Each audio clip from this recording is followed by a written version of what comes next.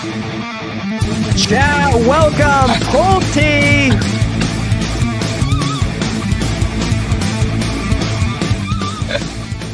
What's up, guys? Can you guys hear me all right? Yes, yes, we can. How you doing tonight? Good. I'm trying to jerry rig this thing. I'm not uh, in a good spot.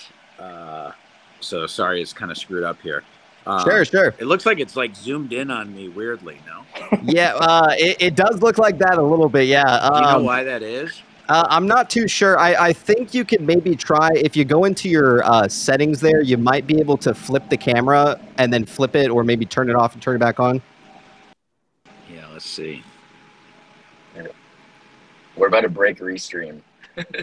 Yeah, Yeah, whatever it's you do. it's kind of crazy. It's like all zoomed in on me. Kind of. yeah, yeah, it's a little, it's a little bizarre. Um, wow. So uh, we have. You know, uh, if I was some yeah. supermodel, you guys would be fine with it. But you, know, you no, that's all right, man. Uh, you look great. Uh, so, welcome to the show, man. Uh, we've been uh, trying to get you on for a long time, man. So, uh, we're happy to have you today, uh, uh, both you guys, man. So, uh, welcome to the show. Uh, so, first things first, uh, like I said, we do have Kevin and also uh, uh, Pulte with us as well. Uh, I did want to start uh, with a couple questions, uh, Pulte, if we can, and then we could move on uh, with uh, Kevin Malone as well. Um, but first things first, man. How you doing, Bill?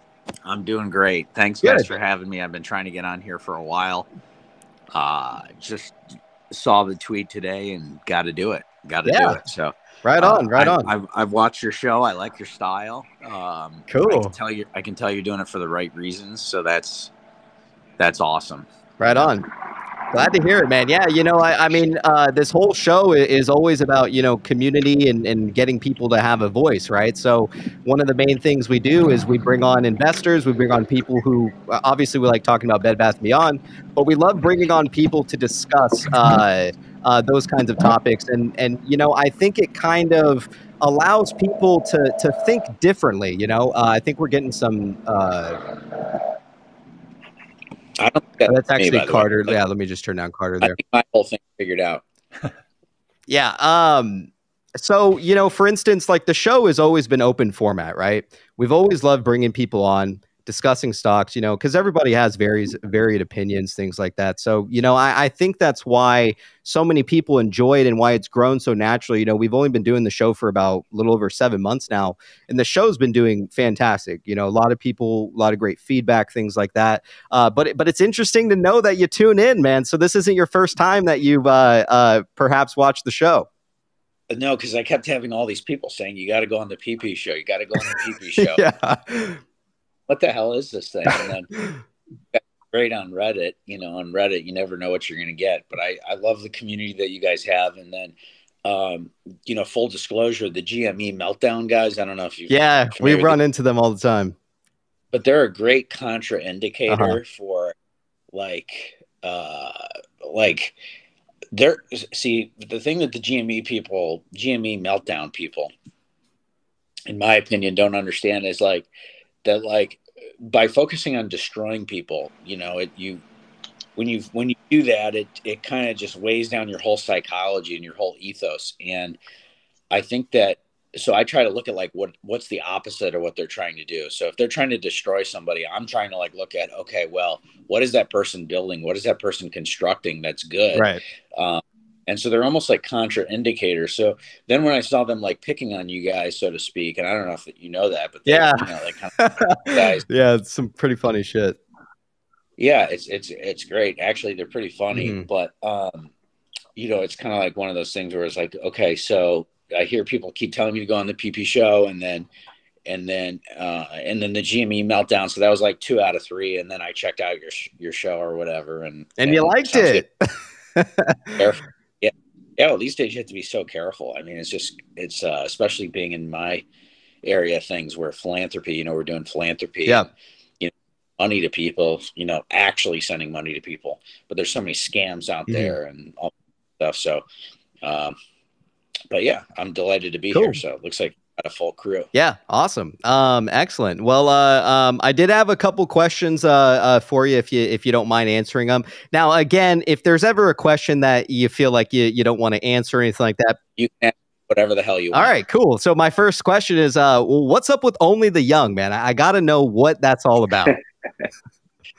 Um, well, part of it is Ryan Cohen. Okay. Part of it, uh, um, you know, I think that uh, it's really interesting. It's like, I think that we're at this inflection point where, like, you know, most of us here are young people, or at least young in spirit. Yeah. And I feel like we're at this inflection point where, like, Main Street is going to take over. And, you know, you hear that stupid term, Main Street, but it's like, the average investor i feel like is just like in the beginning stages like the first inning not even the first inning and to me it's like cohen is like the first one who has really of our generation gone out there and is fighting and i think is fighting for the right Yeah. reasons and so amongst other reasons that that's where only the young comes from is you know you've got a guy who's a billionaire who's self-made I don't understand why these people try to tear him down. I mean, I do kind of understand why they try to tear him down, but um, this is this guy's a billionaire and he's fighting up against things that that I think he's doing it for the right reasons. I really do, and I have some you know I have some knowledge about you know what kind of guy he is off you know outside of business and stuff like that. And this guy's the real deal in my opinion. So, um, so it's kind of that and. uh you know, as I said, I think we're in like the first inning of what we're, where where all this is going. I mean, and Elon owning X, you know, Twitter is just. Um, I mean, I don't even think they know the monster that they've created. Yeah. by giving platform. No, I agree 100%. Um, cool. Uh, so um, uh, my next question uh, for you, Bill, is um, obviously you're aware of what's going on with Bed Bath & Beyond. Uh, I'm sure you read about it in the news and, and whatever it may be. Uh, do you think that do you do you think that this company has a chance um, for instance of exiting chapter 11 successfully and when i say that uh, do you and again this is just opinion uh, and you don't have to answer anything if you don't want to um, do you feel that for instance that shareholders um, you know, given the situation, let's say there's a scenario where possibly it's Carl Icahn. We, we've been speculating for a long time that Carl Icahn and Ryan Cohen have, have taken interest in this stock, maybe doing something possibly via Sixth Street um, and other connections. Do you think that, uh, well, let me ask you this first. Do you think that there could be a possibility that Carl Icahn or Ryan Cohen could be possibly uh, uh, interested in this uh, company? Well, uh, Carl's interested in anything that makes him money. Yeah. um, you know, but in 2016, you know, I had to turn around my family's company, which is a uh, home builder, mm. and some of you guys may see what's going on there right now. But I got the opportunity to, to know Carl through that, and um, he uh, he's ruthless, and he's still with it. Um, I mean, he's he's incredibly sharp. Yeah you know, I think I talked to him about a year and a half ago or so, and uh, I mean, this guy's actively looking at deals. He's he's actively engaged, and then obviously you saw his photo with Ryan Cohen.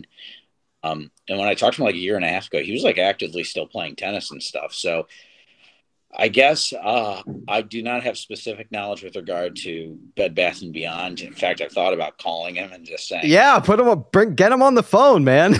yeah, tell me anything, but yeah. but knowing him, um, he wouldn't tell me. Yeah. But he probably asked me how he could make money on mm-hmm. it. So, mm-hmm. um, so that's you know this is just my opinion, right. but um, you know, uh, who who knows if he thinks he can make money doing it. You know, I wouldn't put it past him. Let's put it that mm-hmm. way. I think it's probably more likely that, and I don't know anything, but I think it's probably more likely that oh, you know, keeping a close eye on everything. Right.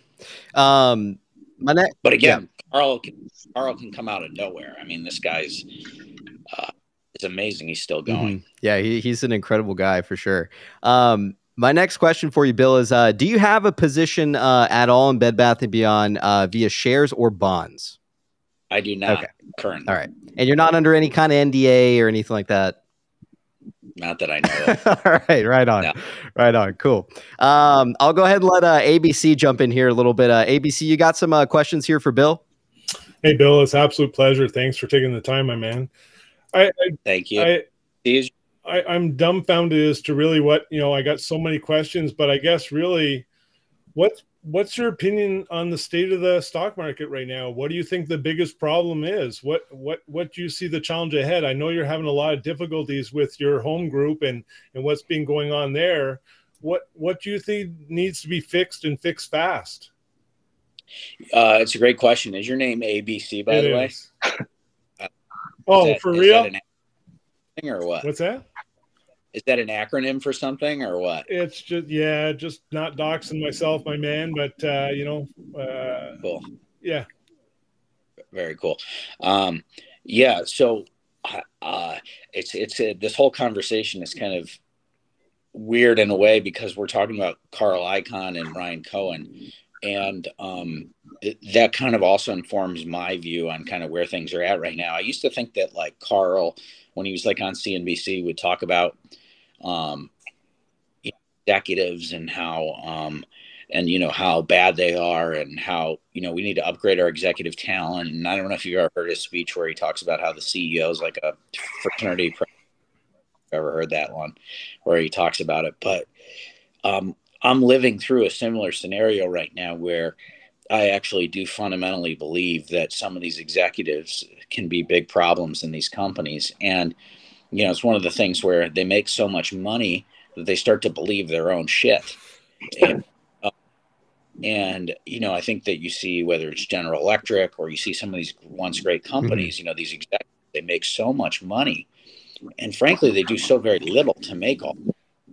And um, so I didn't really subscribe entirely to the Carl uh, Carl, Carl comments, but I knew that he believed it deep down, um, and I would say that I, I subscribe to it more than ever. And then seeing my experience, and then seeing uh, what Ryan Cohen is also saying, you know, he's also talking about the executives and and having to get good executives versus bad. And then you know, obviously, he just got rid of his CEO. And then obviously you see like Bed Bath and Beyond, right? It's like I don't know enough about you know everything that happened with Bed Bath and Beyond, Right. and love fact, I'd love for you guys to teach me about it. Um, but you know, I'm sure there were some bad executives along the line, or somebody got fat, happy, and dumb and rich in that whole thing. And so, um, to answer your question, you know, my current view on it is like, you know, how can we find great companies where people like Ryan Cohen, and I know he's got, you know, GameStop right now, um, which I've I've been very impressed that they've been able to even like turn a profit and things like this, given the asset that he had. I mean, it's not like he, you know, it's not like he took over some insurance business that making hundred billion of EBITDA or something, right? Like he was taking something back from the grave in a certain way. Um, and so that's what I'm really focused on right now. So uh, I, uh, you know, I have a have a nice position in Twitter and X, so I invested in that deal um, just to support Elon, and because I believe that he's got, you know, uh, in my opinion, he's he might not have all the characteristics of Ryan Cohen, or might not have the exact same intentions, but generally speaking, you know, I think that they're trying to build something. So I'm invested in that. I'm invested in somebody I'll probably be announcing soon. I'm invested in somebody who's who everybody here would know. Uh, I'm under NDA on that, so I can't say who that is. But and and this guy's a world class founder. You guys would all know him. Uh, I think he'll be, you know, I think he'll be worth a hundred billion dollars one day. This guy. Wow. So I'm those investments who, or I'm trying to find those companies and those founders who have the right view of, and um, and um, and aren't corrupted. Um, you know, because in my family situation, you know, I was on the board of this company and we turned this company around and and did a great job. We got the stock price up and everything. And then I leave the board after my grandfather passed away and we sold most of our shares. And the COO, the incoming COO, who's going to make, you know, who makes millions millions of dollars a year, was running these fake Twitter accounts with these fake identities to, you know, yeah, harass and I, I, have been seeing you tweet about that. It's nuts. it's absolutely insane. It's, uh, it's insane. I mean, it's like it's it's hard to believe that reality, but it is. And so it's like, okay, so if I discovered that, and my name happens to be the, my grandfather founded the company, director of the company, okay. But for all of those things, how would I ever find out how corrupt some of these executives are? So you start to ask the question, what is really going on in these boardrooms? What is really going on in these in these executive suites? Right. that's why I think like you know it was kind of nice. It was kind of uh, I wouldn't say arrogant, but it was kind of arrogant of me to you know doubt that Carl Icahn was onto something when he said that these executives are a big problem. Yeah, and uh, and I, I guess the big problem is. Uh, sorry, Bill. Go ahead. I don't know if that answers your question, ABC, but yeah, no, I, I really appreciate. It. I guess I have one last question, um, and it has to do with the corruption and, and, some of the things that you've experienced with your company and your family over time. Um, there's been an awakening of some sort. We're seeing a lot of companies uh, being attacked by the short position, and then there's obviously the issue of you know naked uh, shorting itself, which is an illegal activity do you find that we're at a tipping point where something such as perhaps Bed Bath and Beyond, uh, with GameStop or others that are in this so-called basket, do you think that we're at a tipping point now where we could literally, uh, as a community, as investors, obviously it's our own personal investment, uh, create a catalyst for change? Do you think, you know, are we years away, or do you think we're at that pinnacle point now? Because obviously you've seen it in your company, we're seeing it in FINRA and, and different suits that are being filed. Do you think we're at that tipping point now where we can make catalytic change? Uh, it's a great question. Um, I think that we're one one situation away from blowing the whole thing open. Um, I think we got really close with GameStop. Um, I think what happened with Robinhood and all these other things and Citadel and all these guys shutting them down, they may have thwarted it for the meantime.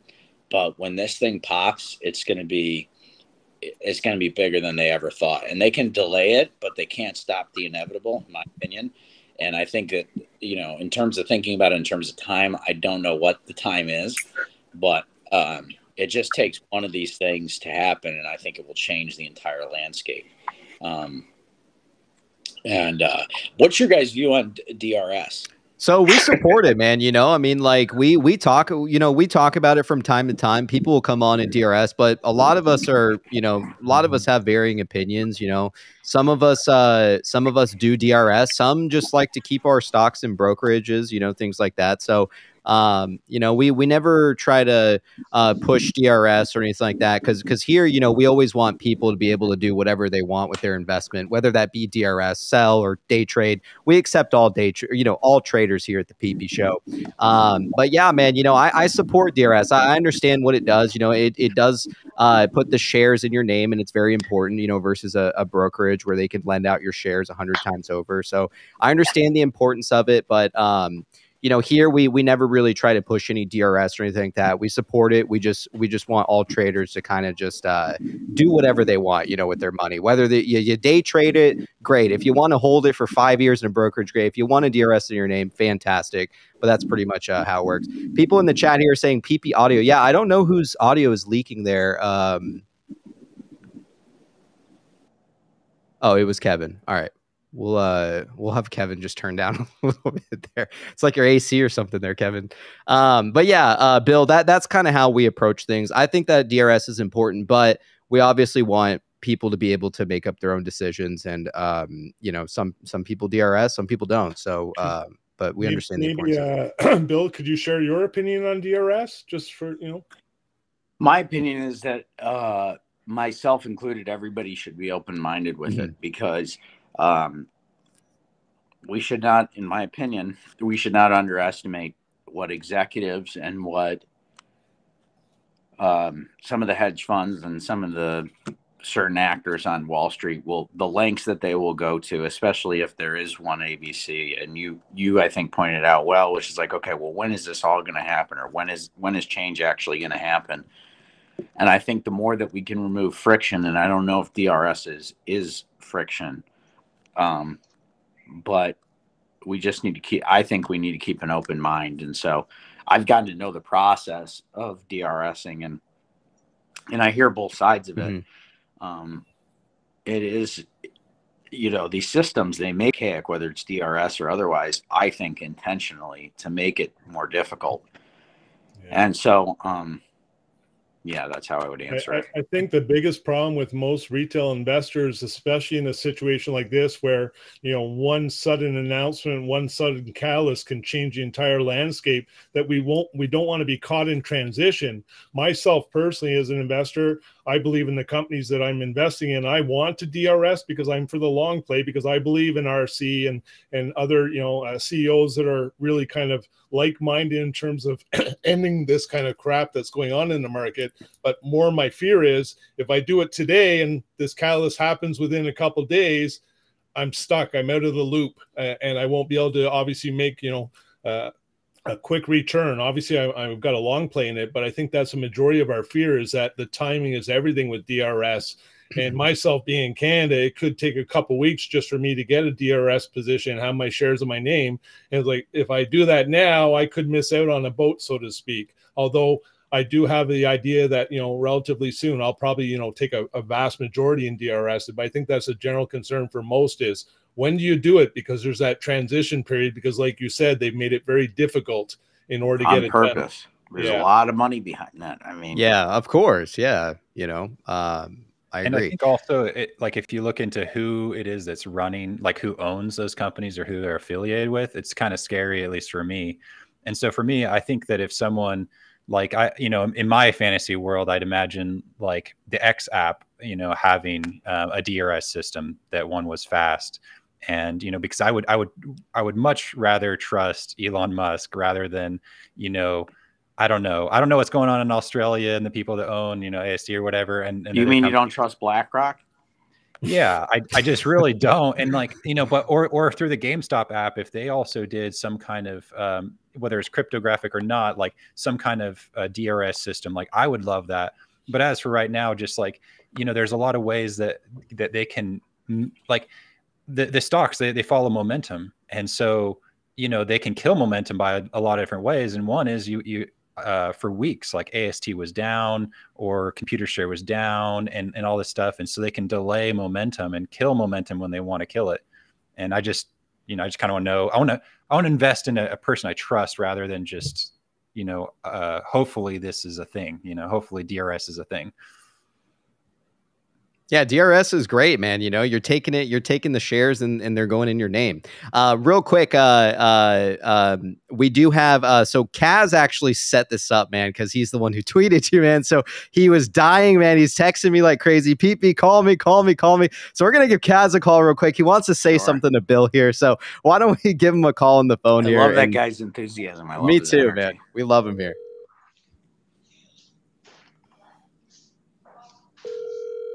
Let's hope he answers. Hello. Kaz, you're on the PP Show, man. Uh, we have Bill here with us. I know. I'm watching on YouTube. I tried to join the room, but it says full. Oh, of course okay. it's gonna be full. I mean, you have uh, Bill Pulte, the, the the only the young uh, is in there, so everybody's gonna try to watch. Yeah. Um, I'm sure he cannot hear me, but uh, Bill, you are amazing. I love you, my brother. You're doing great. You I uh, I I love following you, and uh, you are the best. You're the Um, best. one thing I'm He gonna says you're the best, I've- Kaz. Say it again. He says you're the best. Uh, no, I, I'm, I'm, a, I'm, I cannot be at his level, but he's, he's great. All right. Well, I So love his. the, I uh, love his what I'm energy. gonna say right even here, though he gets Guys, a lot everybody of shit for it. watching, once you make the money, he says he loves your invest- energy even though you get a lot of shit for it, Kaz. Say it again. He says he loves your energy even though you get a lot of shit for it. yeah. Um, so uh, everybody who makes money, you gotta buy shares in Pulte Group and keep some in in Bed Bath and Beyond. All right, right on. You heard it from Thanks, Kaz, brother. man. Sure. right. All right. Thank you so much. Pulte. All right, take care. Thank you. All right, you I heard it from respect that guy. You know, he's he's uh, he's out there hustling. He is, yeah. He he's a good dude. You know, he he's really, um, you know, uh, always kind of dug deep into this Bed Bath stuff. You know, visiting warehouses at one point, stuff like that. You know, really, uh, really like the reporter type. You know, to to dig down to the truth of what's going on with the stock. So, yeah. All right, cool. Um, so uh, we do have uh, Carter here with us. He wanted to ask a question to Bill. Um, Sure. uh, Carter, go ahead, man. Uh, Bill, I just want to say thank you for um, for for being on here with us. There's over a thousand people here that are just like so excited to see you here. thank you for popping into our space that we were having uh, for GME earnings in March too. That was a surprise. That was really cool. So I just wanted to say thank you. My, my question is, uh, what are your thoughts on Teddy, and what do you think RC is trying to do with it? It's an excellent question. He's up to something. He has to be right. International trademarks. Like, what's going on, man? He's not a dummy. No, no, he's not. Uh, What I do you think, though? Something. I, I don't I don't know what he's up to, but I think he's up to something. hmm I think he could have, you know, he could be doing a lot of other things. He could be focused on a lot of other companies. Could be focused on a lot of different projects. And the fact that I I just love his consistency. You know, you're Right. going to get with this guy, and um, it's kind of a breath of fresh air. Like getting back to our Mhm. talk that ABC and I were having is like these executives, you can't count on them at all. I mean, they would sell out their mom in two seconds. And with RC, whether it's his relationship with his dad or whatever, it's like you just get the sense that this is like somebody who's going to actually fulfill what he says he's going to do. Mhm. Uh, I actually had a question to build off of that um, from Carter's, and uh, uh, in terms of like Teddy, you say that he's a very smart man. You know, obviously he's not a dummy. Um, why? I guess with your own opinion, uh, with him not being a dummy, why would he come into Bed Bath and Beyond? You know, uh, for a short period of time, buy a stake in it, and then immediately proceed to sell? Uh, while at the same time having a standstill with the company, um, do you think that he he does have a little bit more interest than maybe the media or anyone else is leading on to believe. Well, I think that he probably is very interested in the situation, obviously, because he took a position, and I think he's still interested based on just that's just my own opinion. Sure. Um, but I think that we don't really know because of the way that these public securities are. Is um, you don't really know um, what has transpired between Ryan and his team and the board, Mhm. and we don't really know, you know, how everything went down. And um, you wish that you could, but these boards they can be so opaque, and there can be so much backstabbing, and there can be so many games, and there can be so many, you know, corrupt promises between people that we don't we don't exactly know why Ryan has done what he's done. But I would bet if I was a betting man, which I guess we all kind of are betting men, I would bet that he played it as well as he could, and he's playing this as well as he could. And there are Mhm. just some things that are out of his control. Mhm. Um, there's something, I, again, I don't know what it was, but there's something that caused him to behave the way that he's behaved with the situation. And, um, you, you know, they, they're not going to put that in an SEC filing. He's not going to go on CNBC and talk about it. And um, he probably legally can't anyway. So it's just one of those things where I think you either trust him or you don't. Mhm. Right on. Uh, Kevin, what do you think about it? I think Ryan got told to just leave Mhm. Bed Bath and Beyond. He's invested in it. He gave him the same speech he gave to GameStop, like you go with my plan or you go bankrupt. So he bought the calls way ab- out of the money Mhm. if they took his plan, moneymaker. And then six months later, I know how hard that guy works.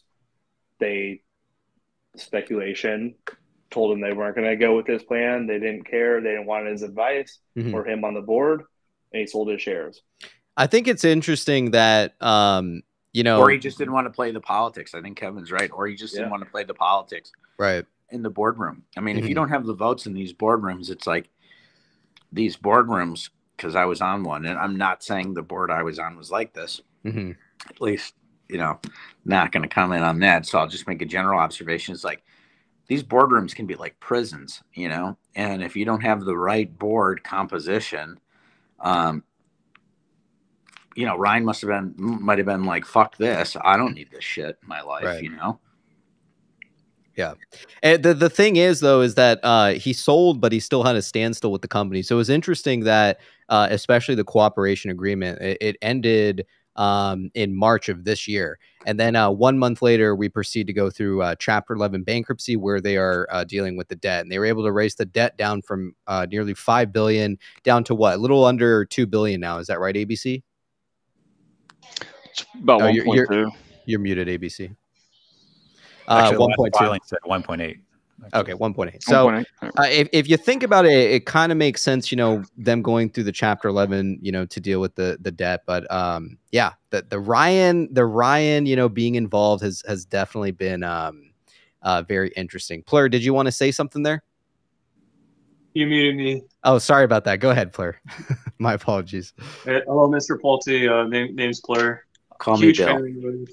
Um, what I wanted to say is because you mentioned the boardroom and, and RC not wanting to, you know, mess around with that politics. Because Shelly Shelly Lombard, she's she's still on the board. She's one of RC's picks, and then there was two of RC picks that were on the board prior to her. And the two, one was Ben Rosenzweig. The other one, I, I apologize for forget, forgetting the name while I'm talking to you right now. But when the two left, they, they left on good terms. So with them leaving on good terms, is it is it possible that uh, got it? I, I just want to see what your thoughts were on that. Thank you. I don't know. We just we just I guess what I'm trying to say is we don't know, you know. Yeah. And and I don't know. And you know, full disclosure, I do not know, but uh Ryan and I share the same attorney. Um, and uh, it's a very well known shareholder activist attorney. Mhm. Uh, two gentlemen, two two two attorneys. We have the same attorneys, and um, you know these guys are pros. These attorneys are pros. So again, I can't say what it is because I don't know, but you know, I'm sure he ran down every which way and ultimately came to the conclusion that he needed to behave that way. All right, excellent. Uh, Travis, uh, do you have anything that you'd like to ask Bill here? Oh man, Fleur, you're looking good. I like the suit. Look sharp. Thank, Bill, thank you. Bill watches the show, man. He's I know, I know. So here I am wanting to be my regular self. Everybody's being proper, and I'm You've like, seen all of it, man. I gotta be, I gotta be real. I gotta be real. So, uh, Bill, thanks for joining. Uh, you know, it's an honor to have you on. Uh, just want to say I absolutely love your philanthropy work. Uh, you know, if, if things work out for us, I have the same types of intentions and just want to do better for the community around me. Um, y- you know, my questions are going to be mostly on some of the Twitter space and things that you've done. You know, we've seen some of the memes and everything else out there. We've seen the trolling that you did on the meltdown sub, which was absolutely fantastic, by the way. I absolutely loved it. But, it was uh, beautiful. yes. Uh, just want to Those guys are so easy because they traffic and hate. Yeah. Oh, it was. I was laughing through most of the. I, I want to call it trolling, but I don't know if you're really trolling or just trying to have a good time with them. No, I was uh, definitely trolling. uh, but my question is going to be on the Twitter space and stuff like that. You know, you've seen the memes of like Star Wars. You're in pictures with, you know, RC, Holly Etlin, you know, Icahn, everybody, and you know, you're you're liking these. I think you've shared a few or even retweeted some of them. What are your thoughts on some of those, or why why are you retweeting some of those just for fun? Yeah, just just for fun and and uh, it's going to be people like all of us on this call who are going to like to ABC's point. It just takes one of these things. So it's like I'm just trying to do my part, you know, and uh, yeah, it doesn't even have to be me in the memes. I mean, I share them with Ryan all the time. Yeah, we see that. Ryan, Ryan, you know, Ryan's the guy. You know, we're just I'm just a supporting cast trying to get him to be bigger, better, better than ever. Because if he does it, then then we're all going to do it. And I think the public market could look entirely different in ten years, and certainly in twenty or thirty years. I think I think the public market, the whole complexion of the market, could be completely different. Um, if I could And add on to that, I think uh, like I've seen things go through a cycle of like people making money by tearing things down, and then people making you know building things back up. And you know, as of right now, I mean, we see how much. I, I feel like we're coming out out of that cycle where we see the effects of people having torn down so much. And um, right now, it seems like like you and Ryan Cohen and Elon Musk are are, are some of the, the the main people that that are they're in that building phase and like i don't know how we can better kind of support what you guys are doing because i like where it's headed and i know it's like a big obstacle Yeah. So is the question just what can we all do? Yeah i mean i like We can um, just we can just go nuts and we can just you know retweet the shit out of stuff and like it and you know tell the GME guys, hey, I actually have sympathy for these guys. I mean, they traffic and hate all day long. Mhm. And I think we just lead with love, you know, and we lead with, okay, Ryan's building a good business. You know, I mean, that's what I believe. Ryan's spending his days working his ass off. He's saying he doesn't want people who are involved in his business who aren't working his ass off, right? So it's like, I think if we just stick with the values that make these companies good and expose the selfish, greedy intentions that, you know, that corrupt all human beings, and we all do it together and, you know, we all support each other. It's just, it, it just, you know, it's like time over pressure. It's like ABC's question, I think, was so good. It's like, well, what's the time? I don't know, but I know enough time uh, and something's going to hit. So um, I know it's like small for me to be retweeting these tweets and, and liking these tweets and the memes and stuff, but it's like, I don't know. I mean, even just the fact that we're here talking to each other and you know, there's a thousand or two thousand people, and these are these are important people that are listening to this. This is not, you know, this is not just some generic stream, right? This is these are real investors. These are real people putting their real money up, and um, I don't think they should be underestimated. Um, we had a question from a user um, about Pulte Homes. If you don't mind uh, uh, uh, answering that, Bill, um, what do you and Pulte Homes Group prioritize financially when building new homes versus the current market prices of homes in today's market? Yeah, so it's a good question. First of all, I'm not with uh, Pulte currently. Mhm. Um, I was pretty active in the 2016 turnaround. We had to get involved, get get rid of a bad CEO. Unfortunately, we've got the bad CEO's right hand guy is, is now the new CEO. So we're dealing with that situation. So um, I'm not currently with the business, but I would say just generally speaking. So um, for people who aren't familiar with me, so like you know, my name's Bill, last name's Pulte. My grandfather's name was also Bill, last name Pulte, and so he was kind of the pioneer of home building in the United States. Uh, he really was, and um, you know, it's you know, it's not the sexiest thing in the entire world, but um, it's something that he was great at, and and so I was very close with my grandfather. My grandpa had 14 kids, 25 grandchildren. Um, I was the only one in the Pulte Homes business with my grandfather. Um, and I did that starting in my early to mid 20s. So I was pretty young. I'm 35 now. But I spent a number of years doing that business with him. And um, that was an incredible relationship that I had with my grandfather. Unfortunately, he passed away a few years ago, but he taught me a lot about um, you know, construction and and building homes in particular. And I think it's a good question. I think that the bigger issue with um, homes and homes affordability uh, in the country is that uh, you really have these onerous local building codes that are actually keeping these prices high. And what I mean by that is like in Japan, you have what's called the universal building codes. You have um, you know, basically they nationalize the regulatory system around construction. And so here in the United States, and the person's question was, well, how do you build uh, not cheaper homes, but how do you build homes that uh, can be maybe be more affordable? And I think that the the action somebody says 14 kids guy just worked and fucked all day that's pretty funny yeah, yeah that that's uh, pretty that chat's fucking nuts, chat. man. yeah, that's pretty funny. People used to give my grandfather a lot of shit for that. They say, "How the hell did you do that?" Now, in fairness, nine of the kids were biological, five weren't. But still, Mm. nine kids, nine kids in twelve years. That was, you know, there was a lot going on there. Right. Um, and she had a couple of miscarriages. So if you think about it, you know, that was that was quite a lot of babies. But, um, but anyway, you know, um, what were we saying? So Affordable Uh, homes. Yes, affordable yeah, homes. just you know, it's not every day you look in the chat and there's somebody's talking about your grandpa fucking somebody. Yeah, But, uh, yeah. Welcome to the Peepee Show, man. There Yeah, you have it. the Pee-Pee Show, right? Yeah.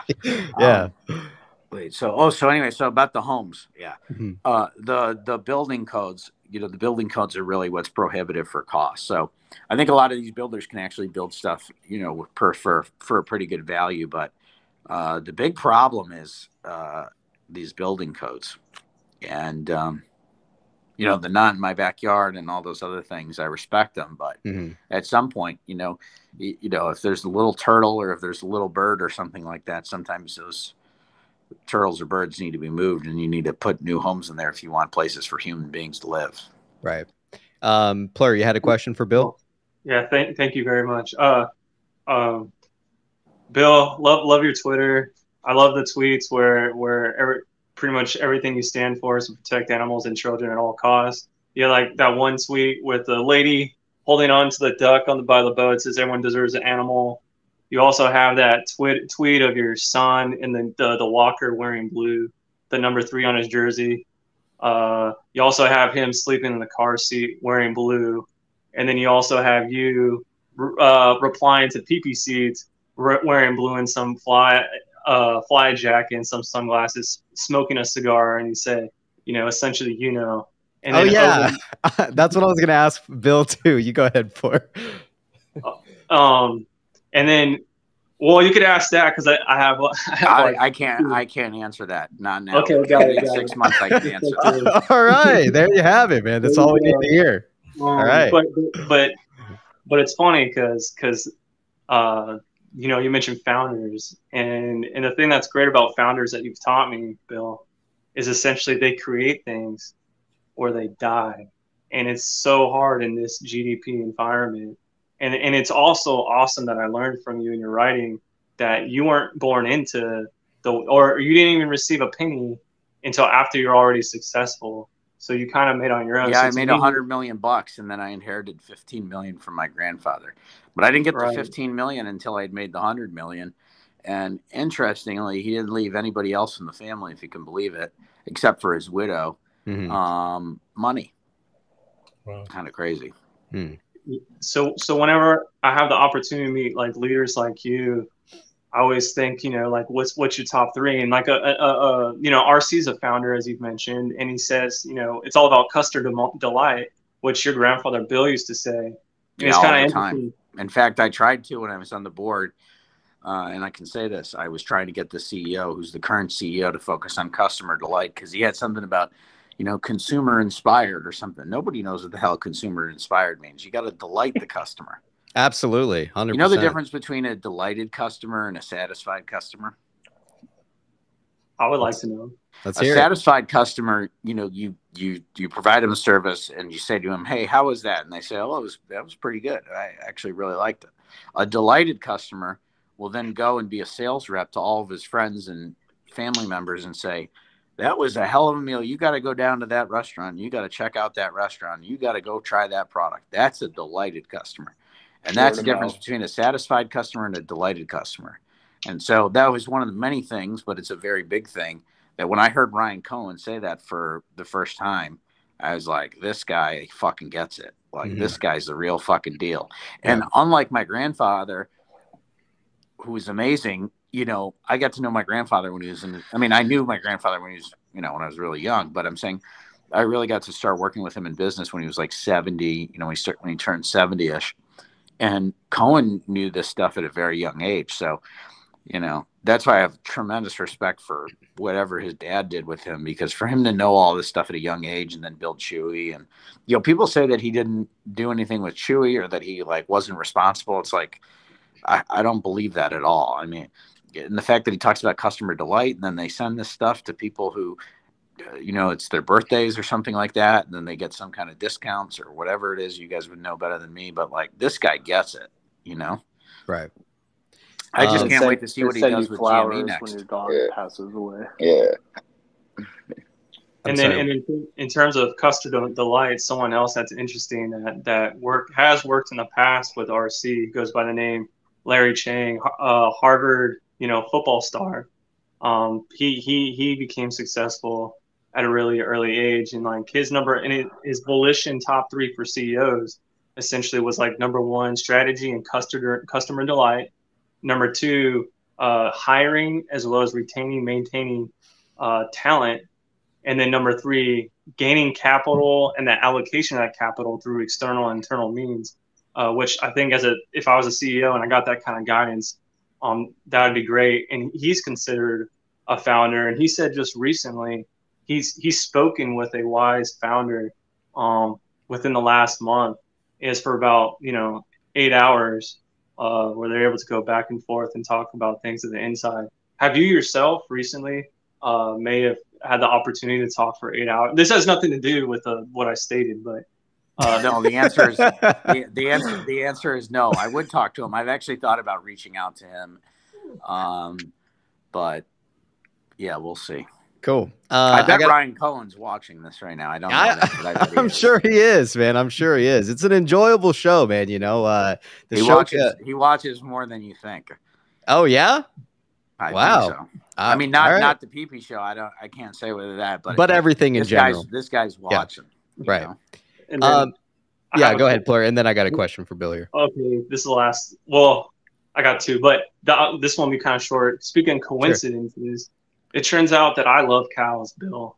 I really love cows, and I, I, I have some DD that's tied to RC, and is like, uh, he's like, "Give me liberty, give me death," COVID like tweet, and and, and and the thing I love about it is is it shows like in art, um, when an artist puts something out, such as Ryan Cohen, you could you could interpret it in like so many different ways. And on top of it, you don't even know who the true audience truly was for him when he did that.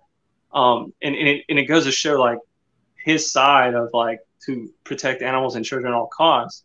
But at the same time, you know, as he said in his GME DD interview, he has kind of a dark side to him. And it's kind of interesting in, in that tweet that, that, uh, you, you, uh, said to him, you like, you look, you look good, bro.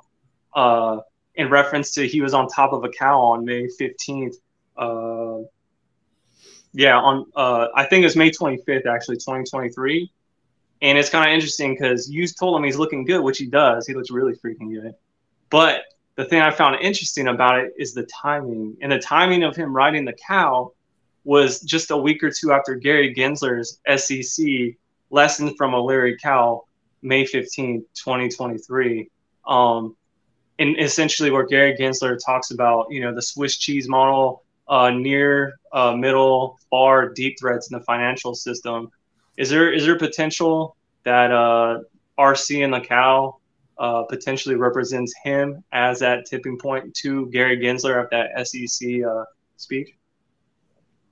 I don't know. All right, that's there. There you go. Uh, uh, Kevin's gonna go ahead and ask this uh, real quick. Um, uh, but real quick, I, I just needed to ask this because I am curious. Then Kevin, uh, uh, please feel free to. Um, Bill, when did you discover that uh, you liked doing the philanthropy uh, uh, thing? I am curious uh, if there was maybe a certain moment uh, in your life that you discovered you li- enjoyed doing it. Uh, just wanted that question, and then we'll move on to uh, Kevin uh, asking you something too. So I had made this money, and just for everybody's background, I made most of my money in heating and air conditioning, of all things, believe it or not. Um, Wow. And and so I have bought, um, you know, over twenty air conditioning companies in the past now ten years. Uh, I currently own fifteen air conditioning companies. That's that's where I make most of my money. Um, and I had a big liquidity event in 2016 um, where I sold two of my main air conditioning assets, and that's really where I made a ton of money, more Mhm. money than I ever thought that I would make. And um, so, you know, here I am with all this money, and and um, you know, don't get me wrong, because my grandfather and my dad's also been very successful um, in his own right. He's a different type of home builder than my grandfather is. You know, I I lived a good life, um, but I came into this, you know, significant amount of resources after selling this to. Uh, I, I so I sold these two companies to a multi-billion dollar private equity fund, and I got more money, as I said, than I even knew what to do with. I think I was 27 years old at the time, and so I, you know, I was doing, you know, the usual things. I was, you know, buying, you know, private jet flights. I got married. I had a great wedding. Um, it was amazing. I'm a helicopter pilot, so I was flying, you know, Wow. helicopters like nobody's business. And you know, for for once, I could finally, you know, afford to do it, you know, and in a way that uh, that I wanted to do it. But um, so all those things were amazing. But what I quickly realized was like, especially around the time I had my first daughter, and I have three young kids, is I was like, okay, this is great to have money and stuff. But one of the things I always liked about my grandfather was, and I always thought it was just because he was a Depression era boy that he was cheap and frugal and those kind of things. Like he's like, you know, and I could tell you stories about this, like, uh, you know, like like this is like a diet coke, and it's like he would buy the small diet coke because he could keep refilling it, right? So he was like one of those kind of depression era boys. So I thought Yeah. that like that's why he did it, and he would always say to me like, you know, charity is is as much of a gift for the person as it is for you, and it probably is more of a charity for yourself. It's, it probably helps you more than anything. And I was kind of like,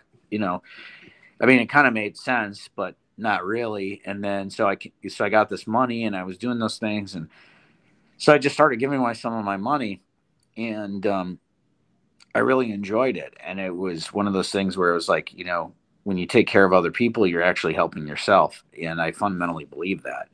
Um, and I have no problem saying it. Like I help other people to help myself. Mm-hmm. Like I selfishly am willing to do it. I'm like not sitting here saying, "Oh, you know, look at me," you know, I'm helping, you know, these different people and stuff. But it's genuinely because I really enjoy it, and it gets me really to. Uh, I don't know. I just feel really good. I feel selfless. I feel like I take all my problems and focus it's, it's godly it's godly to help others man yeah, you know? yeah, yeah i mean we talked about the gme meltdown people i mean you know they traffic and hate and uh, so right. i try as much as i can you know obviously i'm a flawed human being like anybody else but uh you know the traffic and in charity and stuff like that so i put out this tweet and i was like hey you know and I had like I don't know thirty thousand followers at the time or something, which mm-hmm. was a lot, you know. Mm-hmm. And I never thought I'd have thirty thousand followers. So I was like, okay, like let me put out like that. I'm going to give ten thousand dollars to a charity that would use this money, you know. And so I tweeted something out, and it, the damn tweet just went absolutely insane. Like it got like five or six thousand likes, which at the time was like, you know, five or six thousand likes. It's a lot of people, you know. Yeah. And especially on Twitter, and um, because it's one of those platforms where like a lot of people see it, but they don't always like tweets. So so anyway, so I was like, wow, something's on this. And so then I started posting GoFundMe's for these different veterans. Like I would post like like there was this one veteran and like he had these he had these teeth problem and I, I didn't realize it how many Americans and how many people have problems with their teeth. Mm-hmm. And I mm-hmm. don't know if you guys know that, but you know, some people don't have teeth. I mean, it's a very common thing in the United States, and people's teeth degrade and they don't see dentists, and you know, who knows what else happens. And it's not just drugs, and especially the veterans. You know, the veterans. You know, some of these guys get polluted on some of these ships and and everything. So I started posting these GoFundmes for these different veterans, and these guys they started getting like new teeth because I was just tweeting out these links, and I was like, wow, okay, so I can tweet. You're saying I can tweet out this shit, basically do very little work and you know, yeah, I'm putting in significant money to grow this, but it's like that's pretty sweet, you know. Right. And so then I started posting different GoFundmes like that I would find, and this is one of the things that bothers me a lot about this kind of executive situation that I'm mm-hmm. dealing with, and and one day we'll get past it, but is that I haven't been posting a lot of GoFundmes lately, but I will, and I'm going to start getting back more into that here soon. But I was posting these GoFundmes for these different families who were who either lost their home in a in a um, uh, a fire. Um, I mean, I I mean, there are so many examples of these different GoFundmes I was posting, and um, these things would just go viral, and yeah. um, and so they would fill up, and you know, we'd raise 30, 40,000 bucks and get them a new home and everything, and so. Anyway, it was pretty exciting fun. Not to bore you with the philanthropy stuff. No, no, no. We, no, we want to hear about it. You can obviously tell that's you know that's what I'm really interested in day to day. Mm-hmm. and uh, obviously you know i'm involved in these other things but that you know that's what's most exciting to me about x is that i think that's going to take this whole thing to you know twitter philanthropy which i so-called invented and i did. But yeah. i'll just mention one other thing is so then we started getting momentum. And you know my follower count was growing but not too much. Sure. And i was in northern michigan one night and um by the way, do you have a time frame? Because I don't mean to keep going here. No, no, no, go. man. Uh, I was going to ask you if you're on the timer. You can hang out the whole show if you want tonight, man. Yeah. No, no, I'll let you go in a minute. But, right. Um, but so I'm sitting there at dinner and I'm having a, I don't know, I'm ashamed to say it now, but a Bud Light, and I'm, mm-hmm. you know, I was having a Bud Light, yeah. and um, or Coors Light, I don't know what it was, but. And I was sitting out looking over the river, and I was at dinner with my dad and my sister and stuff, and my wife. And I said, yeah, I'm going to tweet that uh, that if the president retweets me, I'll give away a car. So I type on Twitter, and we're sitting there, and and I'm having this beer, and you know they're probably thinking, you know, people who I'm with thinking, you know, what the fuck, you know, mm-hmm. whatever, you know, you're writing this tweet. So I write out this tweet, and I said, if at real Donald Trump will retweet this tweet, I will give a veteran a brand new car. And I'm thinking, okay, you know, yeah, I've gotten some whatever. I've gotten some traction lately, and my accounts, you know, been whatever viral.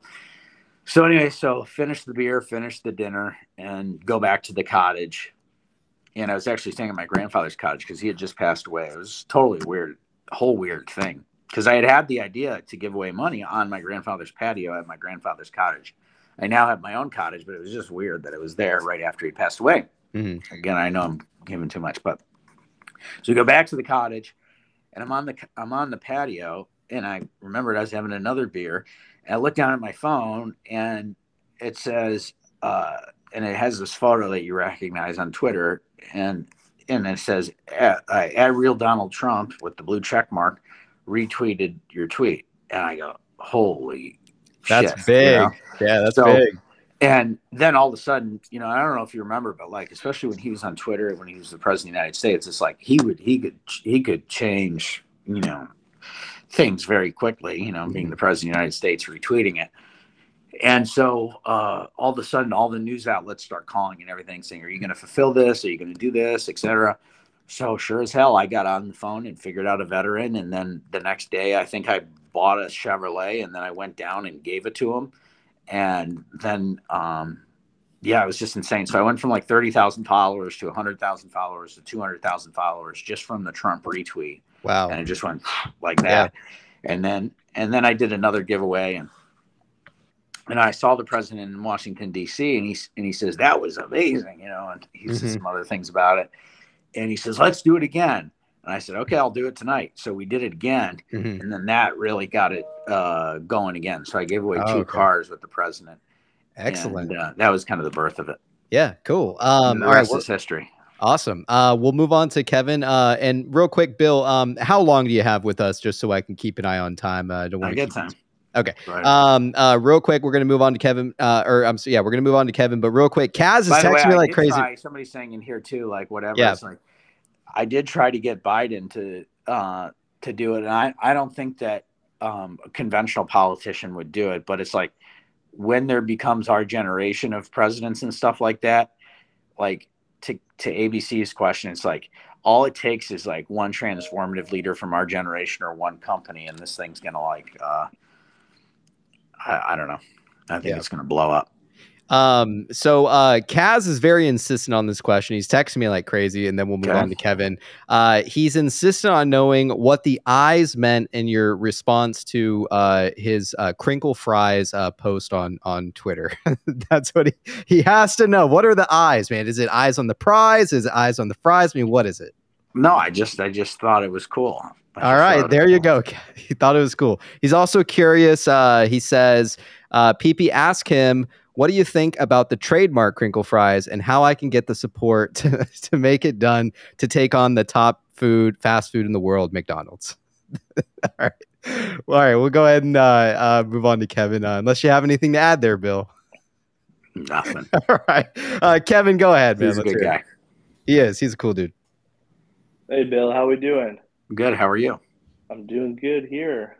I'm glad we got to do the same call the same night. Um, quick question: My Sure. post that made you slide into my DMs, I about fainted. So, what about that post? So, what was the post? Remind me. It was about the possibility of Adam Aron lending out his shares for a million plus dollars a week. Yeah, I just uh, I think the more the more that stuff can get out there, the better. So I didn't know what I didn't know what it was all about, and I think if you could lay out, if is he actually lending out his shares? We don't know. Nobody knows except for the brokerage that he has his shares at. But Hmm. I was just basing that post on the current rate that they're charging and how many shares he has. That at that rate, you know, you're making your money back every single month and a half, Mhm. no matter what the Yeah, I mean, I don't, I don't know if it's accurate, like meaning if it can be spread across, you know, all time frames, he'd get paid that. But yeah, I mean, whether it's him or anybody else, we need to know what you know. If these guys are running these companies, what they're, uh, you know, how they're making money on their shares or whatever.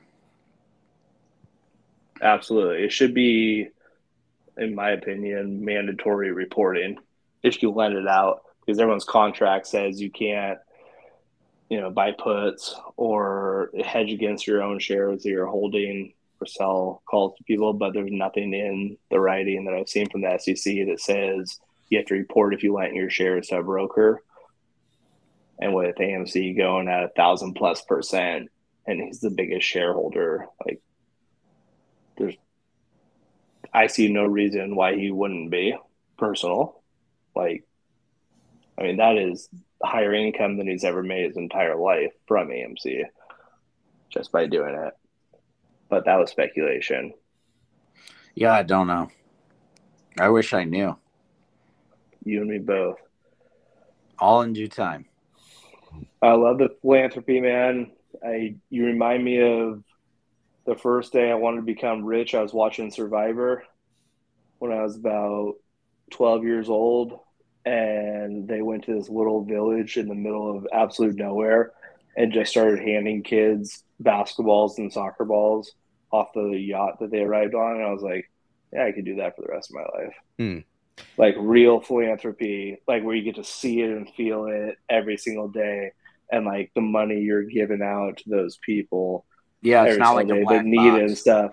Exactly, exactly. I didn't, I posted before I got just blown up and deleted a couple days ago that my business law teacher said the most corrupt thing in the United States is nonprofit businesses.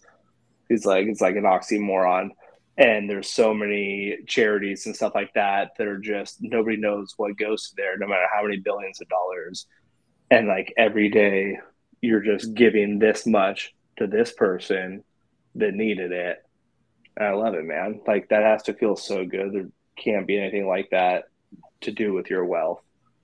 Right on. Yeah, I, I agree.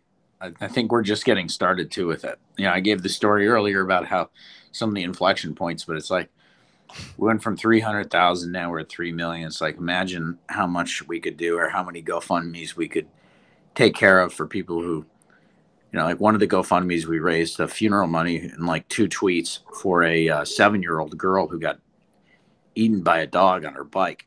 Oh my God. And, uh, you know, Twitter philanthropy took care of that in two or three tweets.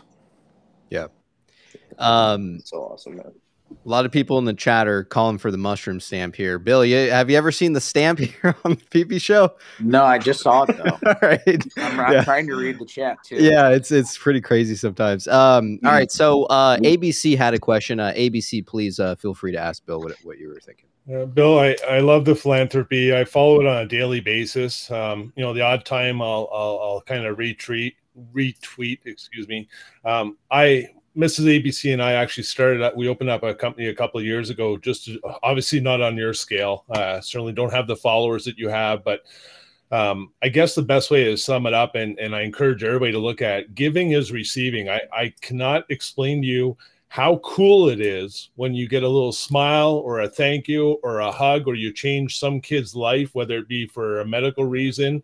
Um, it's just amazing. But on that virtue, uh, you know, I, I adore what you do. I think it would be even cooler if you had a lot more army behind what you're doing because it could really impact not only the United States but you I mean on a global level. So my my big hope is that you know if if this basket does break and there's a transfer of wealth in society that everybody really tries to approach everything from a you know a change perspective and, and help others out there because I believe that we've been on a downward spiral where everybody's entitled and very self-oriented and I can I can attest and again it's not on your level bill but the question being is I fell in love with RC. I, I didn't even know a damn thing about stocks six months ago, and PP can attest to it because I messaged him and I said, "Dude, I've never bought a stock in my life. You know, I'm really interested in Ryan Cohen and Yeah. show me the ways, teach me about it." And so he showed me Reddit and showed me, you know, read this post and go read this guy, and we just collaborated back and forth. And I I was born about ten minutes away from RC. Uh, I bought all the books and I really kind of studied who this guy was and what he did with GME. And I, I fell in love with the virtues of it. so much so that recently I was offered a CMO position at a C level company, and I actually refused the equity offering and said, No, I want to buy it. Now, that was kind of a foolish move because I'm not at the level that you guys are at. So I could obviously use it financially.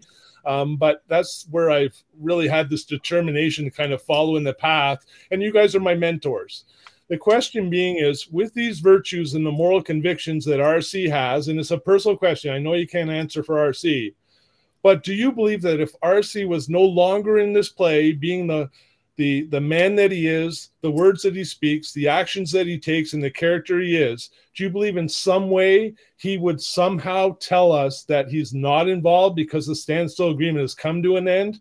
There would be some sign or some deliverance on his part because he has such a large community behind him, and you're seeing division, and it's literally this you know this the art of war is divide and conquer and we're seeing these subgroups literally fighting against each other like gme and all these super stonks and every and what's happening is we're literally there should be a large gathering as to the entire moral of the story of what we're trying to do but yet there's this individual separation. I agree even with the amc people. Yeah, yeah and it, it's almost getting out of control excuse me. And so my question being is from your personal opinion knowing who Ryan is and his work ethics and who he is, do you believe in some subtle way he would have the ability to let you know us know that he is no longer involved in Bed Bath and Beyond? I think genuinely that he does not know, and I, I have no, I, I, would never, you know, whatever, uh, you know, whatever. But yeah. I, I, I, I would, I would bet he doesn't even know unless he signed something recently. I would bet he doesn't even know if he's going to be involved or throughout all of this time. Just like even me, it's like if if there was a way for me to be involved, I would get involved, um, and maybe I will. Seriously, um, but it's like even with Ryan, and again, I don't know, but I think I think he's. I think all options are on the table, and that's just my own view. Do I think that he would have affirmatively have stated something differently probably not but i don't mm-hmm. even think that i don't even i don't i don't even let my brain go there because i know that like if there's a if there's a deal there if there's some way for him to do it he's he's going to find a way to do it. And he's got he's got all the brains in his brain. He's got great lawyers. He knows how to fight. He knows how to he knows how to deal with these characters. And there's a reason and i don't know what it is but there's a reason he got out of there. And so, you know, does he eventually, is he eventually the person who's involved in this? I don't know. But, you know, we could wake up tomorrow morning and he could be very involved or he could be very not involved. But I would bet if I was a betting man, and I, I promised myself I wouldn't say anything on the show about it, but tell us if I was a betting man, I would say at a minimum, at mm-hmm. a minimum, he's, you know, and I'm just trying to be careful with what I say, but at a minimum, he's he's probably very active, I would think, in yeah.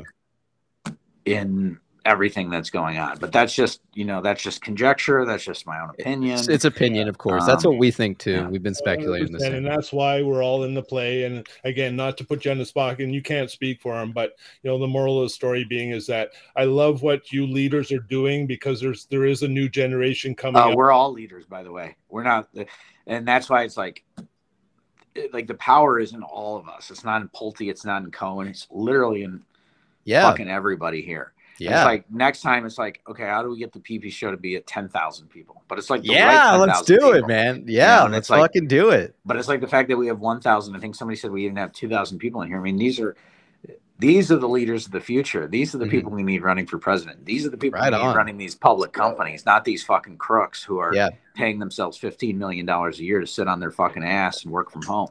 Yep. I appreciate you, my man.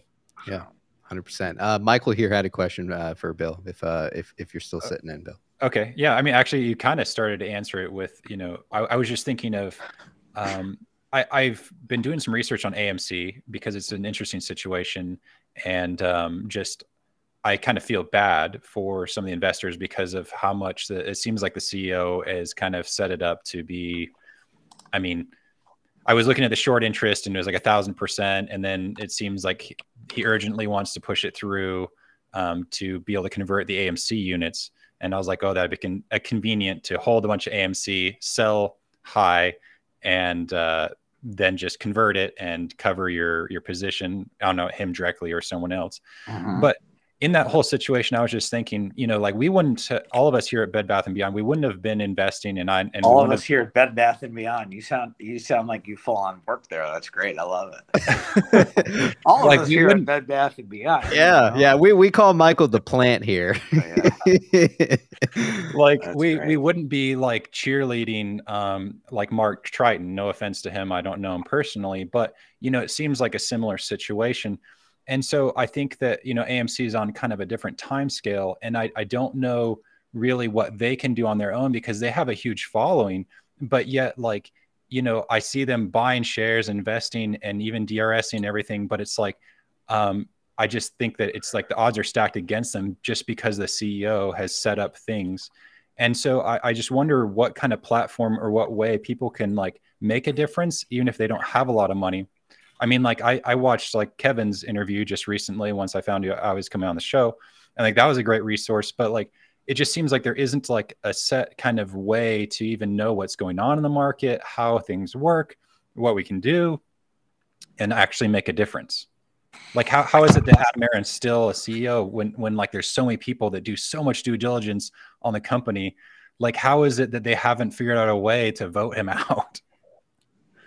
I mean, power, right? They have buddies, you know, things like that, right, Bill? Well, I don't want to get into the whole debate. All right, yeah, we don't have to. That with regard to the people who are invested in AMC, these people, generally speaking, are allies of everything that you're trying to do, that we're trying to do, and the GME people. And we need to direct our efforts on the true enemy, which is the corruption, the greed, these type of things. Now, if this if the executive that you're talking about ends up you know being in that category then so be it. But i just think that right now like people need to be united in this whole thing. And they would love nothing more than for these different communities whether it's amc or bed bath and beyond or gme to hate each other. And i just think that uh you know that's where our focus needs to be so anything i say other than that is just going to inflame the situation and it's just you know Sure. Well, I'm, I'm not just saying not it's, it's bad. I just like I I, I just think that it's you know I, I mean and I don't know as much. and i'm not saying it's not bad i'm just saying that i'm not if it's okay i'd rather not comment on it because i it's just going to inflame the situation it's like let's keep our eye on the prize let's Yeah. keep our eye on the fucking corrupt guys who are making you know 10 million dollars a year to do nothing and they're they're robbing these com- these companies Yeah. or 24 million. yeah right. Um, Plur has his hand up. yeah, Plur, uh, real quick, and then uh, and then Kevin next. Uh, I'm Blair, gonna use. look like I'm gonna gonna use, jump through the screen He's just in there. Yeah. Go go ahead, Plur. I'm gonna use the Feel bathroom I'm real quick. All right, yeah, go ahead. I'll be right back. You're muted. You're muted He, sh- ABC. he, he should be good now. He should be There good it now. is. All right. Test one, two, three, three, Yep. three, two, one. Check one, check two. Um, I, I I love what you said about uh, essentially because people are like, you're you're a leader. It's about centralized command, or, or talking about URC, centralized command, centralized control, you know, centralized execution. But but sir, you, you said it great when you essentially said no, this should be actually decentralized command, and then decentralized execution because something like this is the only way it's going to work. Um, and, and then you mentioned this whole play is, you know, essentially spec- speculation. Uh, and then there's this fog of war that everyone keeps talking about. Um, the reason why I even bring that up at all is uh, because, in terms of us as individuals, we all have our own speculation and fog of war. And we all have our individual experiences, but but like I don't have the same experience as you do, and I don't know what you prioritize in your experiences. So a guy like me who's just trying to catch up or or get like a quick booster shot, um, in terms of like me understanding your mind. Um, I've asked ABC this question before, like what three books would you recommend? ABC recommended hundred dollar startup, next five moves, and hyper focus.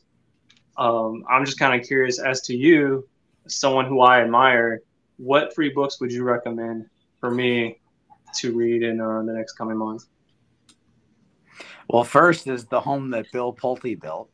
Uh, that was a book that uh, that that's on my uh, Twitter. It's free, um, but it chronicles a lot of the stories my grandfather and I had uh, in in that business, which today is about an eighteen billion dollar company. So that would probably be number one. Um, you know, in terms of other books, let me think. Are you thinking in terms of business or No, you a- a- anything under the sun? Yes, sir. Uh, I'm a huge fan of uh, General Mattis, who essentially every time he deployed, he carried a library of books with him, whether it's at war or at home. And he said himself to, to broaden your mind and read everything you can. So I'll take any recommendation to you that has meaning to you, sir. I mean, uh, I kind of like uh, two books by an author. Um, and these days, he's uh, he's gone kind of viral for other things, let's say, but he's he's an amazing author, in my opinion. Is have you ever? Excuse me. have you ever read God's Debris? No, I have not. That that one's definitely an eye opener. That's more of a general life book, so to speak. Um, just about probability. I, I really like it because uh, it talks about probability, and this kind of gets to ABC's question earlier. It's like, well, on what time frame will something happen? I don't know, but over enough time, the probability that something happens and this whole thing breaks, this whole system breaks, is probably high. So I really like that one. And then um, my favorite business book is Made in America by Sam Walton. Um, that is uh, outside of the home that Bill Pulte built. Uh, that that would be my favorite one uh, in business. But I say the God's debris because it kind of fucks with your head. It kind of shakes everything you know upside down, and and um, it gives you a good it gives you a good thought exercise. You know, I'm not into like uh, you know acid or shrooms or DMT or anything like that, but it's probably the closest you could get to those in form of, in a form of a book. Wow. is at God's debris. Sounds like I- a trip. Yeah. I I appreciate you saying that because I've never done any drugs in my life. So it, I, it, it would be interesting to read about people's experiences and then medically uh, how that's progressing into the future. And then in terms of probabilities and things of that nature, uh, and this is the last thing I'm going to say that I have even for, for you. I do think I do think it's an honor that you're here tonight, as well as it's just a co- another coincidence coincidence that uh, tomorrow's that one year anniversary of RC's tweet which is July, which came out July 27th, 2022, where it's essentially it's no better time to be alive in history than now. So Wow. Is it really? It's tomorrow? that's great- tomorrow. The greatest time to be alive? Yeah, July 27th, 2023 Wow. will be the one year anniversary tomorrow. Look at that, man. We got Bill on the show too. And also Kevin, man. Uh, Kevin has some questions uh, for uh, Bill. Uh, Kevin, take it away, man. Great. And then you mind if we just do two more? Yeah, yeah, of course, man. Of course. Just because I'm going to go see my kids. Yeah, before they go to yeah, of course, man. Yeah. Uh, go ahead, Kevin. All right, I just want to circle back on like 30 minutes ago with Ryan Cohen and BBBY. Uh, so after my speculation that the board turned him down on his turnaround plan, Pulte is saying can't say much, but speculation. Like Ryan's always got his feelers out there. He's still got his people on the boards. He's looking for opportunity, and I know he wants bye bye baby. He said it for over a year. And so they turned him down. He was like, "Okay, well, I'm going to keep my feelers No in here chance. man. and and wait until it drops 98 percent, 99 percent." Ryan's like, "Oh man, you know what? I can now buy instead of a billion for 10 million." So what is the time frame? When when when does this all have to come out? I think, It was uh, supposed to come out last week, and they canceled out the Bye Bye Baby auction. yeah, They're like, Supposedly, oh, They didn't "Oh, have enough supposed to be tomorrow. qualified- We need to cancel it. yeah, they didn't have enough qualified bidders.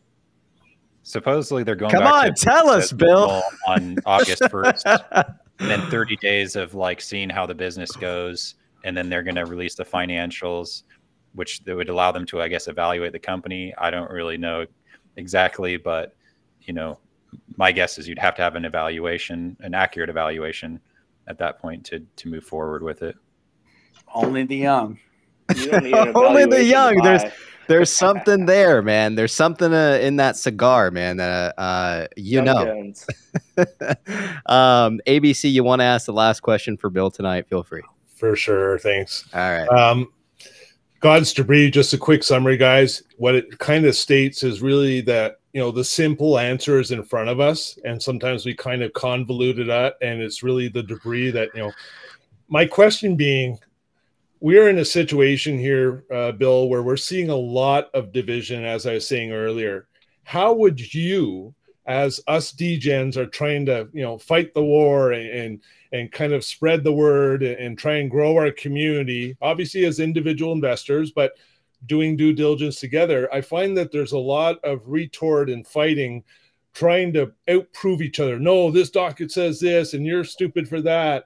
And and and how would you collectively encourage us to try and bring these communities together without that that banter back and forth? Because ultimately you know gme people fell in love with gme because of what ryan cohen did. Obviously bed bath and beyond we like the stock we like the board and the people that were put in position by rc yet there still seems to be this division. How what words of wisdom can you leave with us that will stop the in-house fighting? And uh, uh, what what words can you leave with us to say guys this is how i would approach it because we're having space calls with the other side with gme elitists and i just see the banter going back and forth and there's real no solution coming out of it you just can't engage it. You know that abc i mean even your your question is wise which is you know bringing the bringing it to conscious you know conscious level. I think the unconscious nature of the human is to fight and to you know uh, be against each other and these type of things. But we really are in so many ways on the on the same team so i think by leaders like you because you are a leader everybody's a leader here but you're a leader abc is like by you asking that question i think people are going to think twice about you know does it make sense to really fight with these people? You know, really spend our time, our energy hating on these people, or should we be focused on, you know, the real enemy, which is the corruption, the greed, the, uh, you know, what do they say? One of the seven deadly sins is sloth. You know, and I think a lot of these executives, I just think sloth. I mean, think about this. How the hell did this Fortune 500 COO mm-hmm. that was going to become the COO of Pulte Group, okay, $18 billion company. How the hell did he have time? How the hell did the CEO let this guy have time for a year and a half to come up with different fake identities to attack me? I mean, this stuff is That's crazy. Nuts, so, man. You know, if you traffic in this kind of stuff, it'll make you go nuts. And in this case, this guy, in my opinion, he's nuts. And um, I just say you got to restrain yourself. You really got to restrain yourself. And we've got to restrain ourselves as a movement, in my opinion, to not fight with each other. I mean, I had one friend today. He was not worried about me coming on the stream, but he's a big GME guy. And he's like, Oh, yeah. you know, he's like the, the PP guys, they, you know, they're always beating the shit out of me, blah, blah, blah. And I said, dude, I said, first of all, I don't know what that's all about. But 2nd mm-hmm. of all, and I said, if you need to, I'll happy to talk to him. But he's like, but I said, I don't know what that's about. But even if it is, it's like you control yourself. It's like, why the hell are you getting triggered? Why are you letting these guys co opt your brain? You know? Right. So, ABC, I think it's a good question, my man. Excellent. Uh, you heard it from Bill, man. Bill, give us some closing thoughts, man. Uh, we got over uh, a thousand eight hundred people, a new record, man, on the I think you had over show. Two thousand, somebody. we it. did. It was like twenty three hundred, man. It, it's it's nuts. Uh, give us some closing thoughts, man.